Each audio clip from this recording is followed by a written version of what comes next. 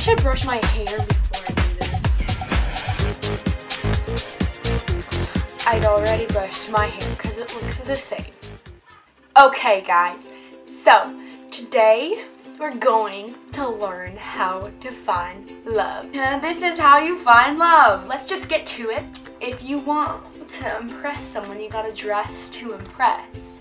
So you have to just go all out wear your your most snazzy, your most sassy, your most outgoing outfits. This is what I would wear on a casual date. You have to be flashy because if you're gonna attract your mate, you want them to like, you have to be like a bird. And you have to like show off your best skin okay? So this is if you're cold. This is like an 80s jacket. I'm like all about fashion so that's why I have this collared shirt um, underneath this, this is like this new thing. This is what's in. This outfit that you put on is kind of like, like male fish are different. They're like a bright color to like show off and like impress females. So I don't know. Whatever. This outfit's supposed to be that thing for you, okay? And so you gotta you gotta make it weird. technically your behavior attracts a certain person and that's who you're supposed to attract.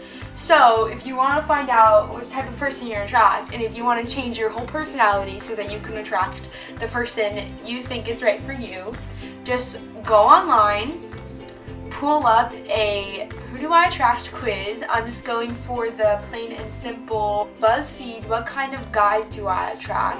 Okay, just kidding. All the tests I can find are like what kind of guys you attract, so if you're into guys,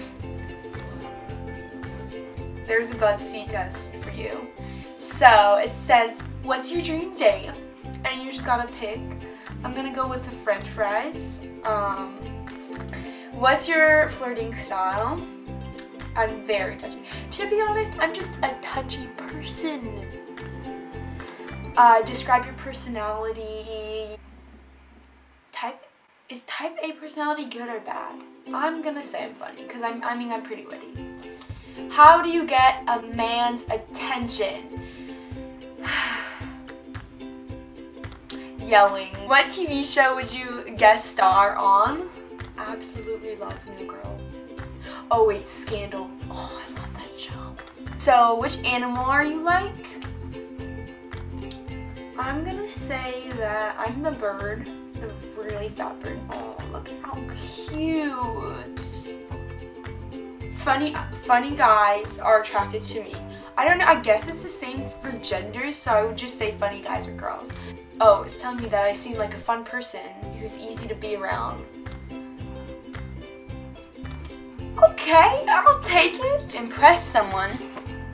A really smart thing to do is to just, just show them that you have talent or like just, you know, like my talent is golf or like hole zero. Oh! If you're trying to impress someone, you really have to have the pickup lines. You have to have the witty little things that will just, you're a magnet. I'm a magnet. You never know when you're gonna find your love, so you gotta just, you gotta be out there. You gotta put yourself out there. So my main pickup line is, okay, hold, a drum roll please. Are you from The Lion King? Because I want you to Hakuna Matata.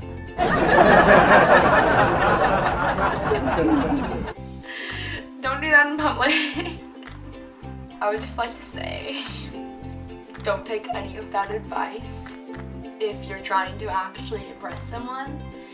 And if you want, like, I guess if you want to actually find love or like how to find love, I guess you just have to let love come to you. Just be yourself and try to make sure the person really does love you. Alright guys, so thanks for watching. Um, you want to click the subscribe if you want to see some more of this and click the thumbs up uh, to give me some love. Make sure that you don't change yourself for anyone else. And don't find go finding love, just let find.